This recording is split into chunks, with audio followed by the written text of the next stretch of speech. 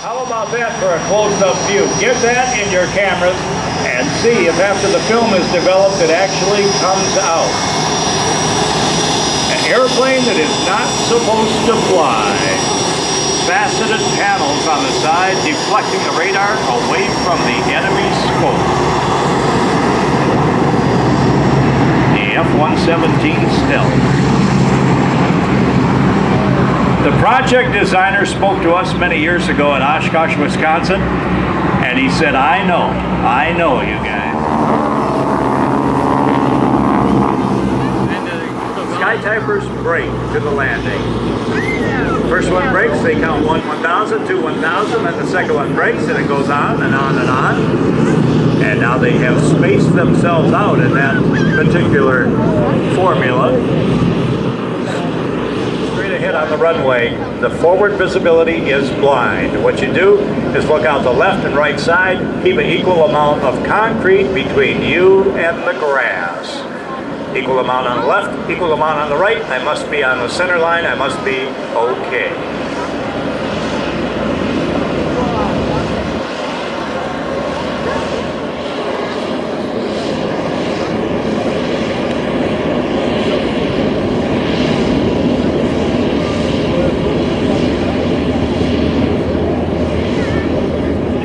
Missouri.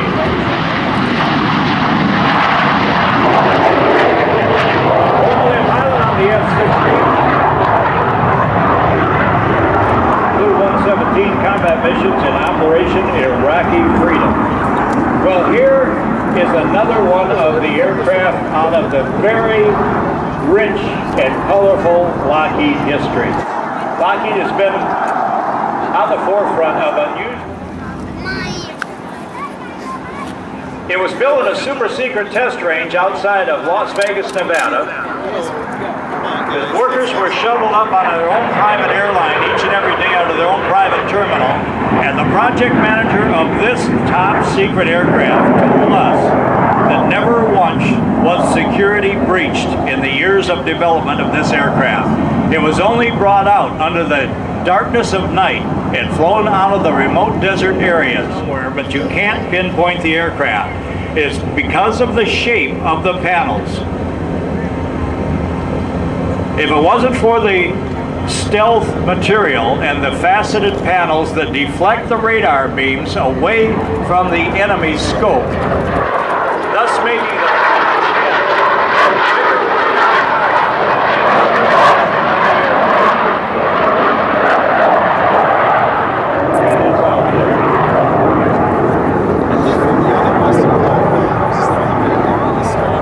more today.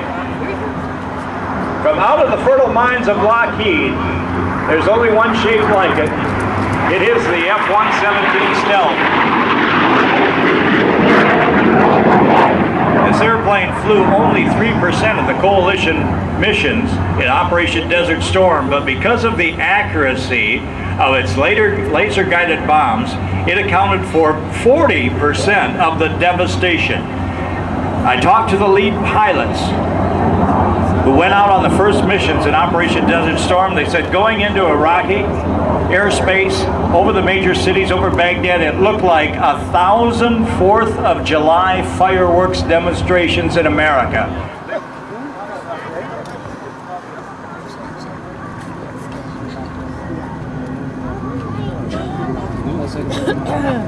In order to keep the F-117 functional, during the design and during its flight, it borrows components from aircraft that would be out in the field. And the high rotation of the engine is reduced down to a slow rotation of the prop by a reduction gearbox that's geared to 13.54 to 1. So in cruise, that prop is going only about 1,000 RPM from the engine by changing the pitch of the propeller. Turboprops are traditionally low in noise footprint and very, very economical on fuel burn. Now the aircraft is not extremely fast because it has a high lift or a fat wing, but in a lot of cases speed is not important, especially if you're using one of these aircraft as an airborne refueler for helicopters.